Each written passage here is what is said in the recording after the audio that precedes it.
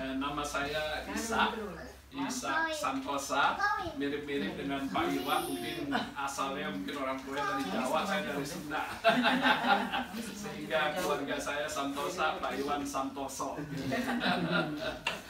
Eh, terima kasih Bu Truli dan Pak Willy yang sudah mempercayakan saya boleh sharing firman Tuhan dan juga kepada tante, ibu daripada Ibu Truli. Terima kasih semuanya hadir dan Ibu Nur juga ya. Iya, Eh, saya bersyukur kepada Tuhan eh, melihat kehidupan yang luar biasa yang Tuhan eh, izinkan terjadi dalam hidup saya. Eh, apa saya sendiri tidak dilahirkan di tengah-tengah keluarga orang percaya, eh, tetapi luar biasa setelah saya tiba di kota Sydney ini dengan perkara yang yang luar biasa sampai akhirnya saya dituntun eh, oleh eh, kasihnya sehingga saya boleh percaya dan bukan hanya percaya tapi dipersiapkan sehingga akhirnya terlibat di dalam pelayanan eh, dan akhirnya eh, kalau saat sekarang ini Tuhan mulai mempercayakan saya mengembangkan sebuah jemaat kecil di daerah Blacktown. nah pada malam hari ini eh, kita percaya eh, semua kita khususnya dalam pergumulan eh, kita rindu kalau doa kita atau apa yang kita lakukan itu boleh menyenangkan hati Tuhan. Lebih kalau doa kita eh, boleh boleh didengar dan bahkan dijawab oleh Tuhan. Dan apa saya percaya apa apa yang menjadi pertumbuhan Ibu Truli yang sempat eh, terucap dari dari apa suatu memimpin pujian eh, kita tahu bahwa Tuhan kita bukan hanya yang mendengar doa tetapi dia yang menjawabnya amin.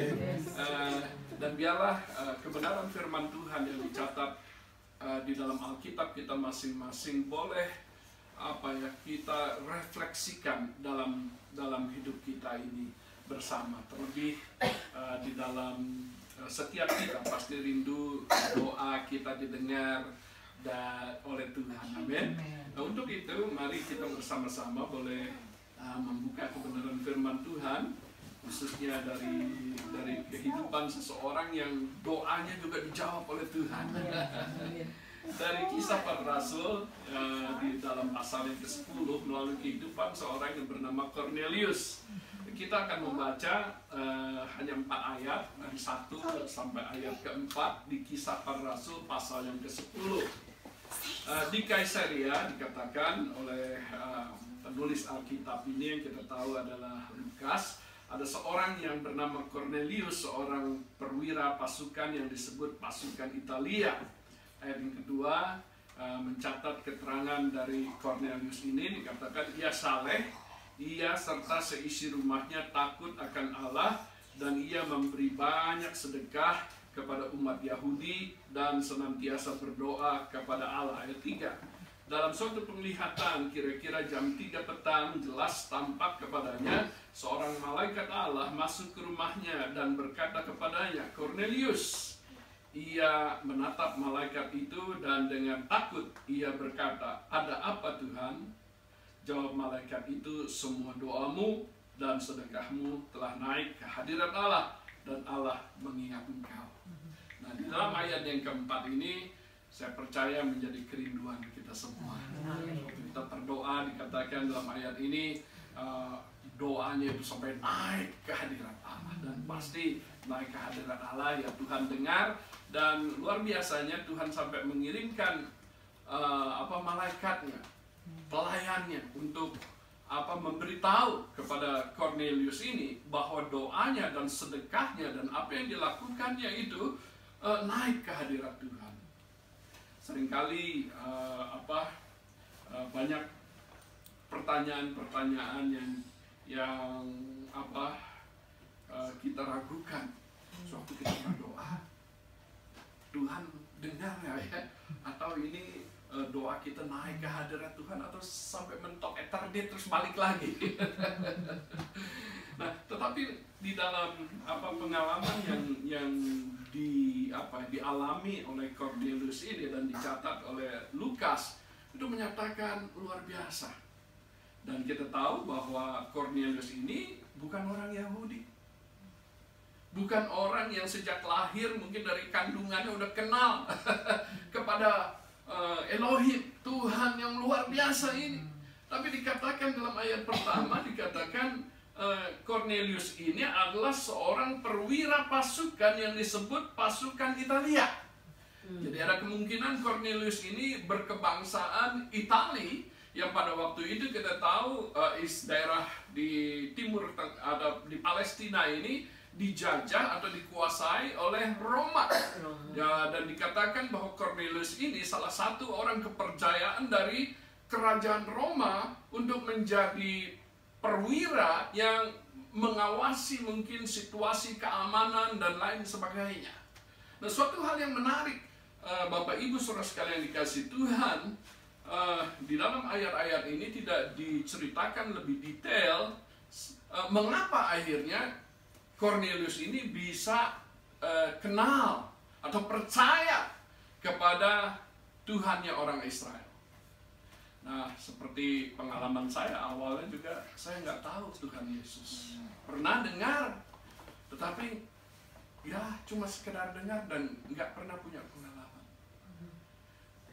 Ada kemungkinan mungkin karena dia sebagai tentara yang terlibat kehidupannya sehari-hari dalam peperangan, dia merasa aduh sebenarnya mungkin di dalam peperangan pada suatu saat saya ini harus mati.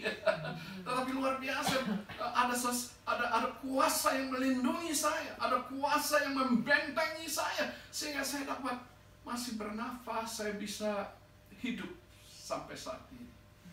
Dan mungkin banyak pengalaman uh, setiap orang mungkin berbeda-beda melihat kuasa Tuhan yang ajaib kuasa Tuhan yang luar biasa.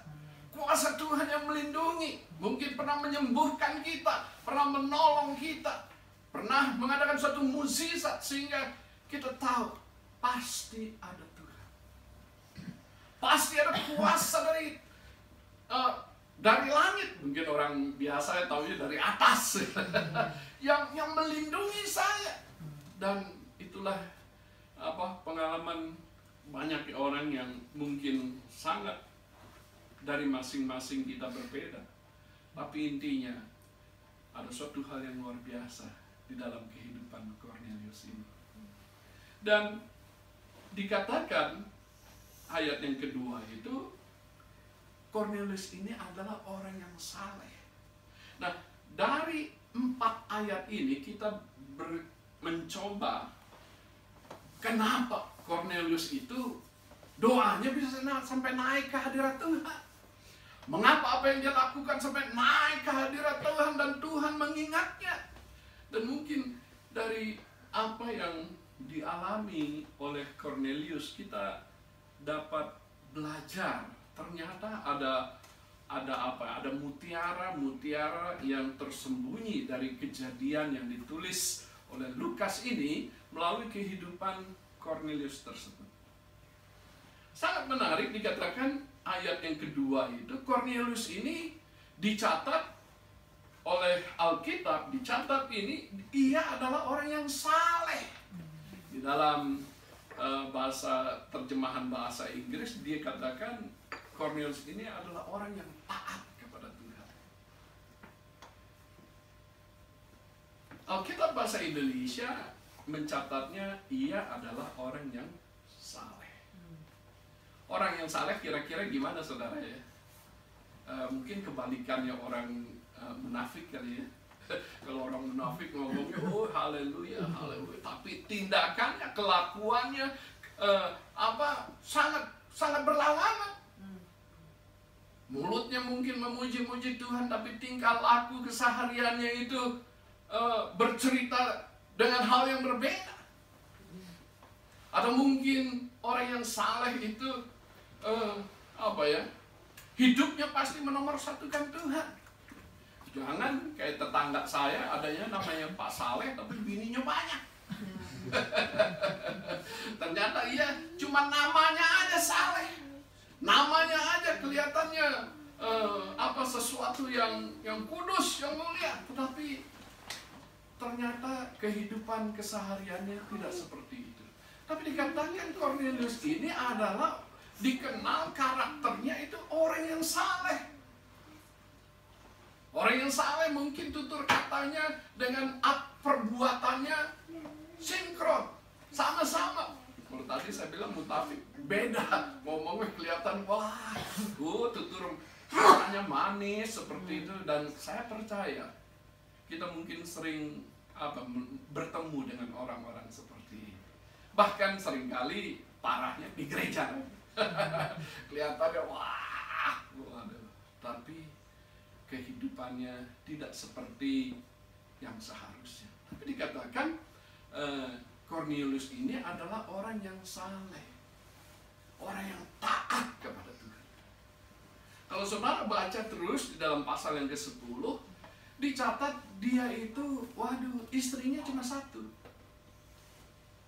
Menjadi pertanyaan bagi kita, orang yang selevel Cornelius ini dan hidup pada zamannya pada waktu itu, mudah nggak punya istri dua?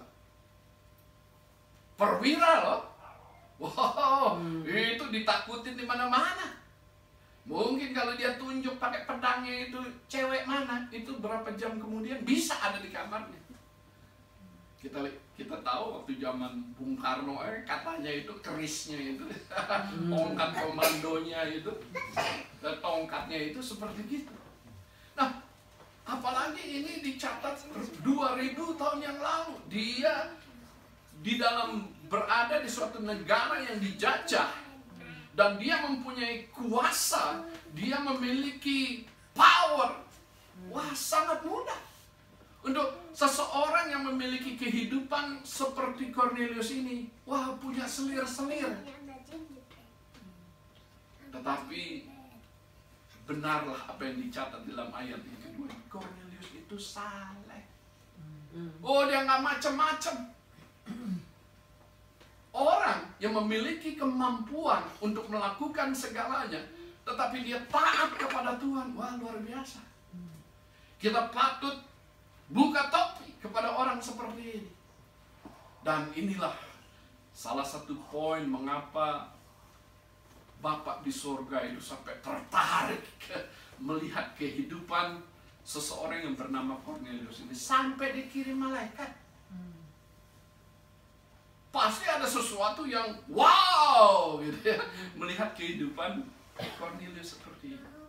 Mungkin tentara-tentara, kawan-kawan yang lain itu, oh hidup dengan segala macam yang dicari dunia. Tetapi dikatakan kembali lagi, Cornelius ini adalah orang yang saleh.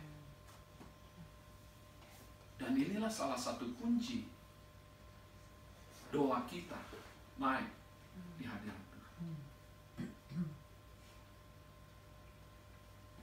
Seseorang pergi ke gereja, belum tentu salah. Seseorang mengatakan dia Kristen, belum tentu kehidupannya seperti apa yang Tuhan inginkan. Tapi kita bersyukur kalau Roh Kudus mengingatkan kita. Dan bahkan pada sore hari ini kita diingatkan melalui kehidupan Cornelius uh, sehingga doanya apa yang dilakukan itu wah naik Dan yang bagian yang kedua dikatakan ia bukan sal, ia, ia bukan hanya saleh. Selanjutnya dikatakan ia serta seisi rumahnya takut akan Tuhan. Saya percaya kehidupan Cornelius yang dicatat ditulis dalam pasal 10 kisah para rasul ini dia mempunyai apa ya uh, di dalam hidupnya sebagai tentara itu pasti nggak tiba-tiba jadi perwira, benar? Mungkin awalnya oh tentara biasa, gitu ya. Wah luar biasa, naik tingkat, naik tingkat, naik tingkat, naik tingkat, sehingga akhirnya dicatat di dalam uh, kisah rasul pasal 10 ini dia pada waktu itu sudah menjadi seorang perwira. Dari seorang tentara biasa sampai menjadi perwira, waduh pasti ada apa ya eh, kemampuan di dalam dia bekerja di bidangnya. Tetapi Tuhan lebih tertarik bukan dengan kerjaannya, kesehariannya. Tetapi Tuhan lebih tertarik dan dicatat di situ ternyata Cornelius berhasil membawa seluruh keluarganya taat akan takut akan Tuhan. Seringkali banyak orang hanya bangga kepada kerjaannya sehari-hari. Wah, saya ini kan manajer. saya ini kedudukannya, oh di kantor saya. Tapi di dalam kehidupan sehari-harinya, keluarganya nggak takut. Saya percaya di dalam sebuah keluarga yang sampai seluruh keluarganya itu menghormati Tuhan, pasti orang tuanya atau mungkin dalam ayat ini Cornelius ini pasti hidupnya menjadi contoh bagi keluarga. Amin. Bagi istrinya, apalagi memang dicatat eh, istri paling tahu gitu bagaimana kelakuan seorang suami. Kalau saudara mau tahu karakter saya, tanya aja istri saya. Dia pasti tahu banget bagusnya, jeleknya, ngoroknya. Dan dan ini dicatat bahwa ia serta seisi rumahnya takut akan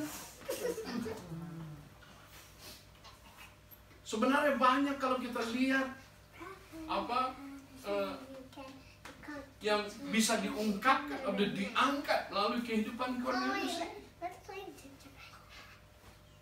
Seringkali banyak orang merasa bangga dengan kehidupan pekerjaannya, dunia sekulernya. Tapi Tuhan lebih tertarik dengan Cornelius ini yang berhasil membawa seluruh keluarganya takut akan Tuhan.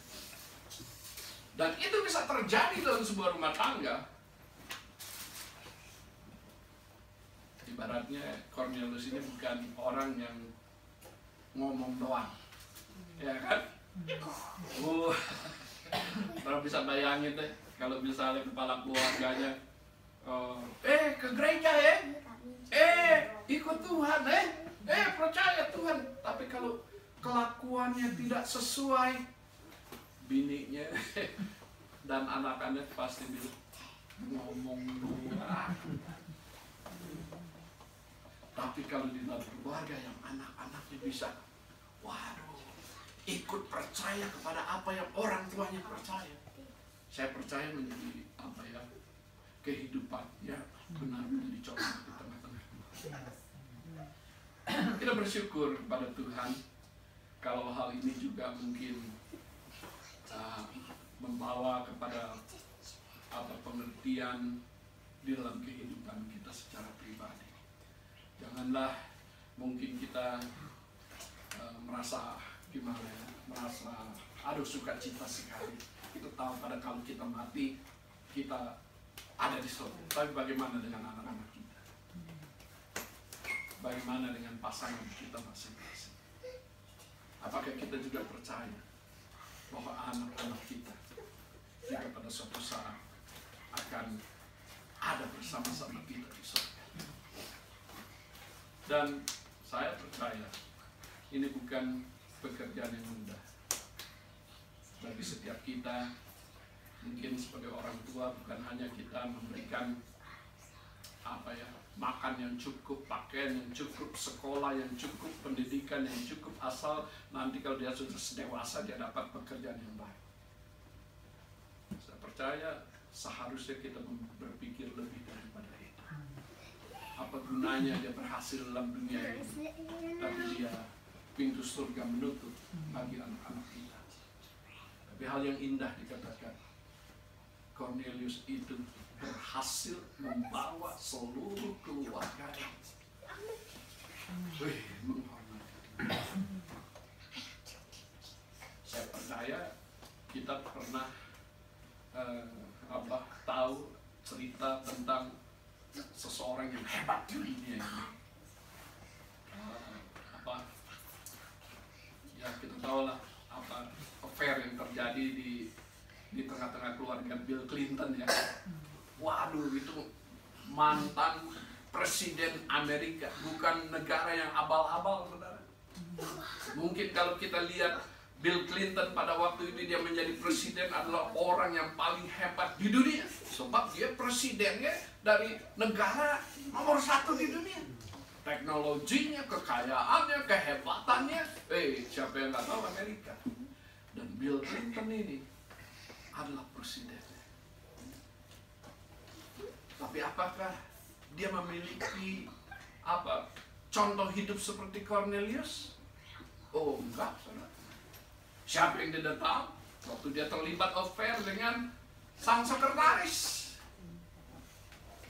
Kalau saya lihat istrinya ini hebat.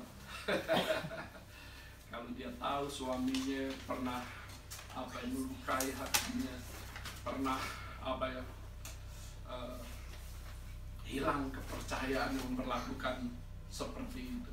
Tapi Hillary itu, waduh, sungguh luar biasa.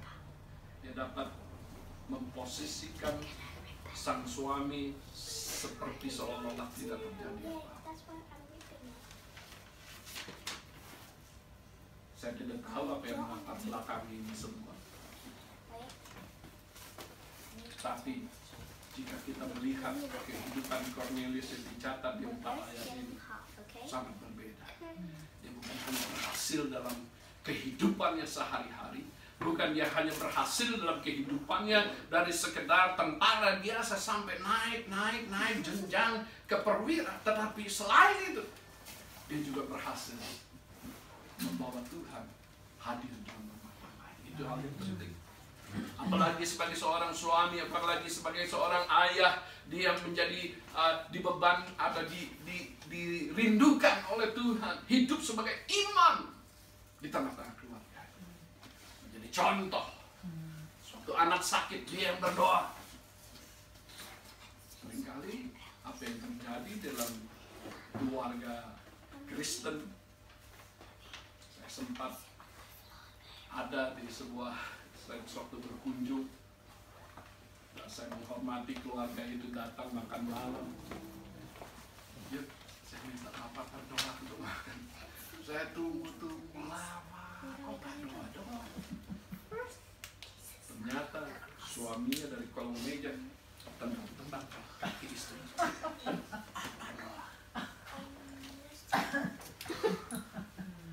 suaminya masih belum bisa berdoa dan sering kali di dalam rumah tangga jangan sampai terjadi kalau anaknya sakit mama aja dia yang berdoa mama lebih bisa wah mama lebih manjur. Lupa bahwa sang ayah sang bapak harus menjadi imam. Seringkali inilah yang yang terjadi ketimpangan di dalam rumah tangga. Apalagi kalau di dalam keributan antara suami istri. Sang pendeta menasihatkan, Ibu, firman Tuhan kan katakan, istri tunduklah kepada suami. Seringkali, oh, susah diterima oleh istri-istri saya mesti tunduk kepada kayak gini. Sering dengar nggak omongan? Halo. Tapi saya percaya jika sang suami melakukan tugas sebagai imam dalam rumah tangganya, dia yang menuntun kedewasaan rohani dari istrinya, anak-anaknya, dia yang bertanggung jawab. Saya percaya seorang istri yang berada dalam rumah tangga, kalau suaminya sebagai melakukan tugas sebagai imam dalam rumah tangga, mudah, sangat mudah untuk istri berkata, Yes, Dad. iya, Papa. Seringkali itu terjadi karena suami tidak melakukan tugas yang seharusnya dia lakukan.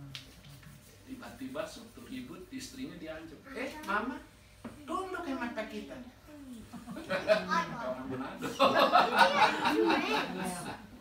Tetapi kalau sang suami nggak melakukan tugasnya itulah yang sering kali timbul komplain.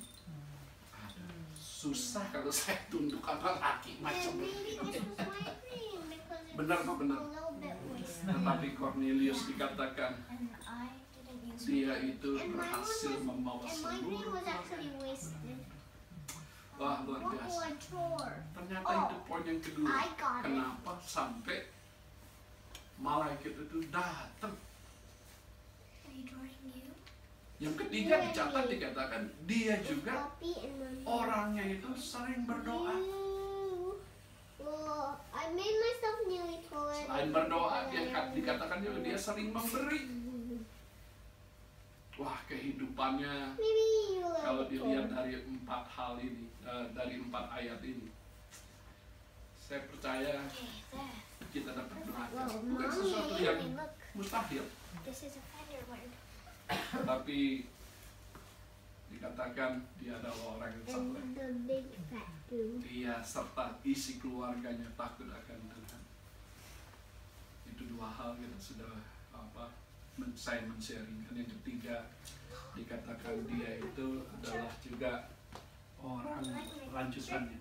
Ia saleh, ia serta seisi rumahnya takut akan Allah dan ia memberi banyak sedekah dan juga senantiasa berdoa. Di dalam bahasa Inggris itu praise-nya itu uh, pakai S, give-nya juga pakai S. Jadi wah banyak yang dia. Bukan sekali-kali, bukan hanya sekali berdoa, tetapi dia berdoa senantiasa. Berarti kita bisa dilihat lihat di sini bahwa itulah yang sebenarnya Yesus ajarkan juga kepada murid-muridnya. Khususnya kita sebagai orang percaya, kita harus hidup seperti garam dan terang dunia. Sifat daripada garam itu selalu membawa apa ya makanan jadi sedap, gitu kan ya.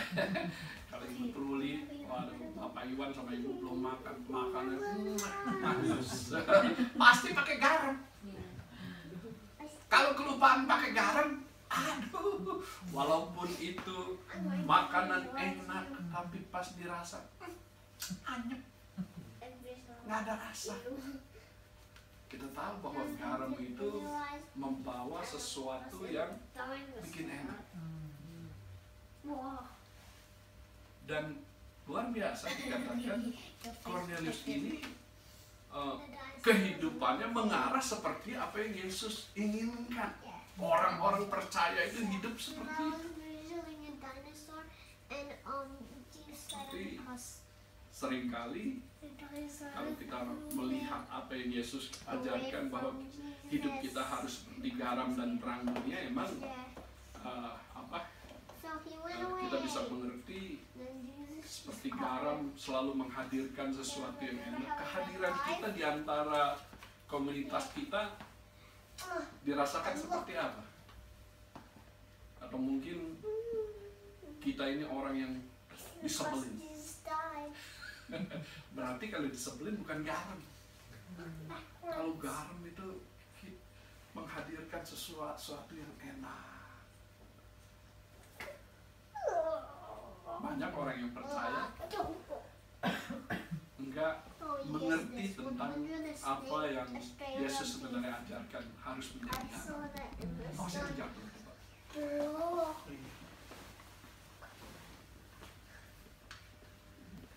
Menghadirkan suasana yang yang orang suka. Jangan kehadiran kita. Ya, dia lagi Wah empat lihat deh. Wah sebel lihat deh. Saya percaya kehadiran Cornelius di antara komunitas orang Yahudi, weh disambut dengan baik. Apalagi dikatakan dia itu sering memberi sedekah-sedekah kepada orang Israel. Waduh, dia punya apa ya generosity-nya itu wah dikenal sampai dicatat.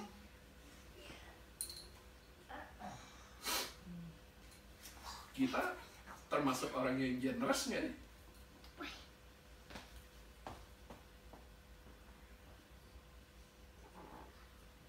Ibu tahu nih.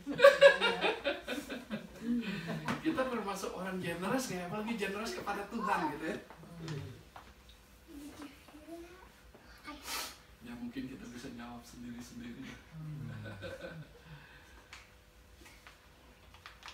Tentu- Tentunya di dalam kita memberi kepada Tuhan bukan hanya sekedar uang, waktu kita, pikiran kita, yang paling susah perasaan kita. Apalagi kalau saudara udah menjadi atau masuk ke dalam level pelayanan, saudara udah apa, wah udah sepenuh hati melayan. Seringkali kan orang nggak puas aja, bukan hanya nggak puas, sering kali suka diceritain yang nggak enggak. Tapi puji nama Tuhan kalau saudara mempunyai generous hati yang mudah memaafkan orang, hati yang mudah memberi, walaupun sering kali orang tidak seramah. Yang apa yang kita sering jumpai namanya. Tapi dikenal bahwa Cornelius ini adalah orang yang suka memberi. Dan saya percaya dia bukan hanya memberi ya sekedar uang tetapi suatu hal yang yang orang sangat menghormati. Saudara bisa bayangkan dia sebagai orang sebagai perwira kalau ke mana-mana dihormati nggak saudara? Oh saya percaya sangat dihormati tetapi dia bukan hanya mau dihormati tetapi terlebih dia juga mau wah luar biasa. Seringkali kalau orang apa orang eh, bukan selevel eh, apa Cornelius ini ya ibaratnya nggak punya apa-apa nggak punya kedudukan apa-apa gitu ya. Yang mudah untuk menghormati seseorang. Tetapi dia walaupun dia memiliki segalanya kuasa ada di tangannya saya percaya apa yang dia mau dia bakal karena weh perwira men. Perwira weh. Di suatu daerah itu kuasanya luar biasa saudara. Apa yang dia mau mesti bisa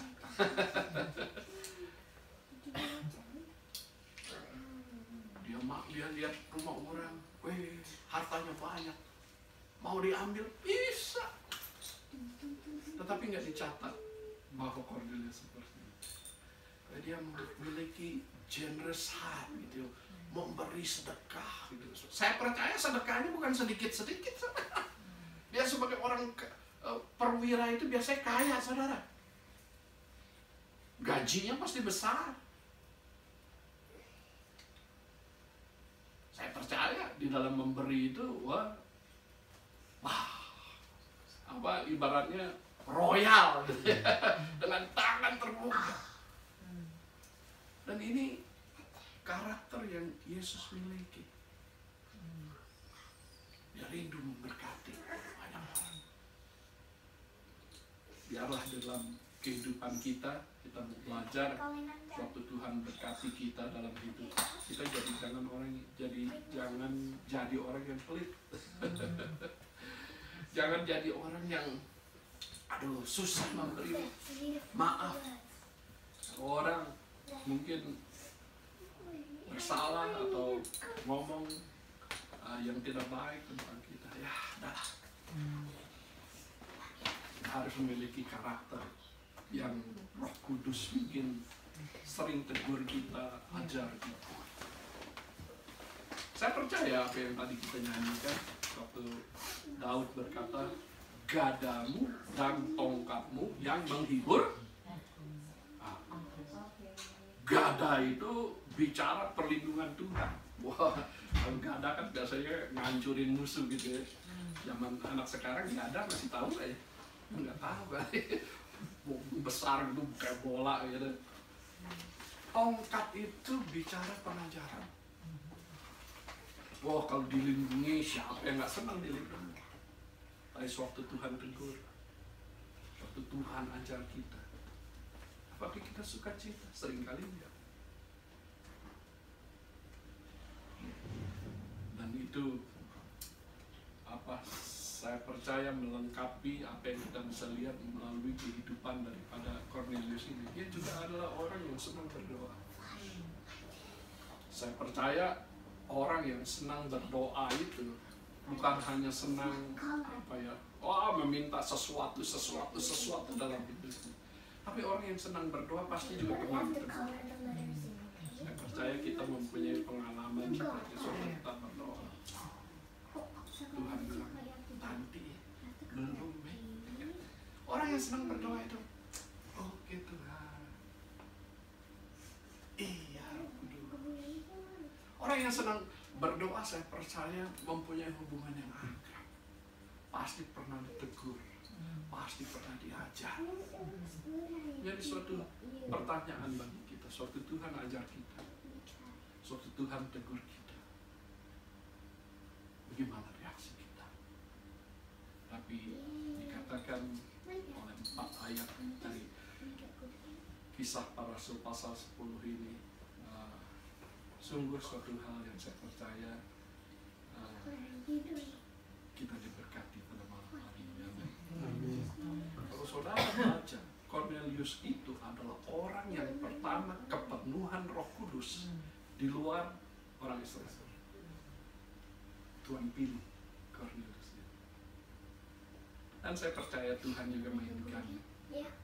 Setiap kita sudah menjadi berkat bagi pekerjaan Tuhan. Senang sekali Ruli dan Pak Willy punya kerinduan membuka pintu rumah tangga untuk orang bisa mendengar firman. Awal-awalnya juga suatu saya dipanggil Tuhan membuka persekutuan rumah tangga di rumah. Sampai akhirnya rumah sampai harus sewa tempat. Dan itulah perjalanan yang indah bersama Tuhan. Hari yang lalu ya, Pak Iwan akan ditabiskan jadi hamba Tuhan. Tanggal 20, tanggal 20. Wah, luar biasa. Eh, apa, saya percaya Pak Iwan dan keluarga udah sampai di Sydney ini bukan kebetulan ya. Pasti ada rencana Tuhan. Rencana Tuhan yang terindah kalau kita boleh dipercayakan melayani dia. Kota Sydney ini masih terlampau luas untuk boleh kita bersama-sama memenangkan jiwa bagi kota ini.